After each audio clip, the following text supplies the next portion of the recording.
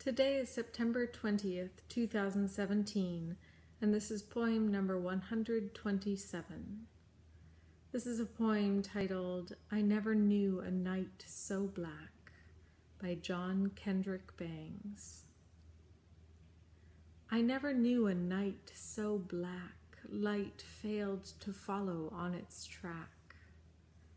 I never knew a storm so gray it failed to have its clearing day.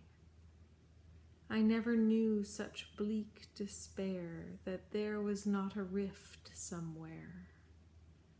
I never knew an hour so drear love could not fill it full of cheer.